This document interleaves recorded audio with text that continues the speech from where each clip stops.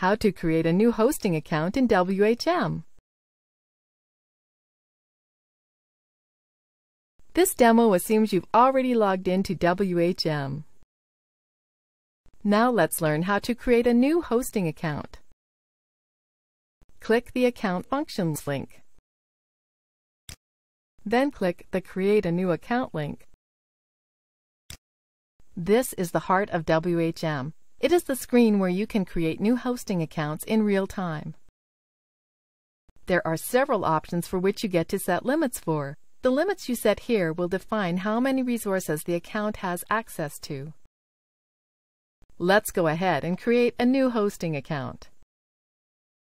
Enter the domain name that will be used for this new account. Now enter a password for the account after which a username will be created automatically, which you can edit later. Scroll down. At this point, we can continue to fill in values for the options, or to speed up the process, we can choose a predefined account package to automatically fill in many of the options. Open the Package drop-down menu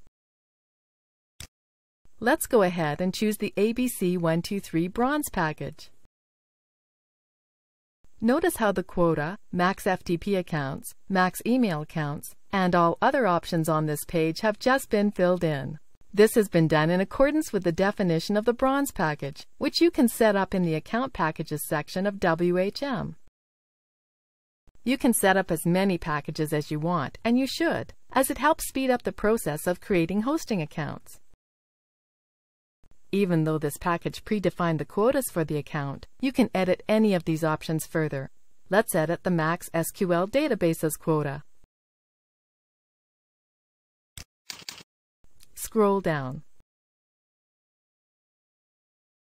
Click Create.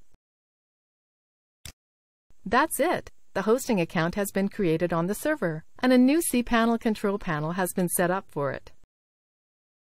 You should now send this information to the person who will be using the account. They will need to know the username, password, and IP address, as well as the name servers. They can now log into cPanel for this new account using the username and password we assigned, but will have to use the IP address method rather than the domain name method, since the domain name will not work until its name servers have been changed and propagates. More on this in the cPanel tutorials. Okay, Let's go take a look at the accounts in our reseller plan. Click the List Accounts link.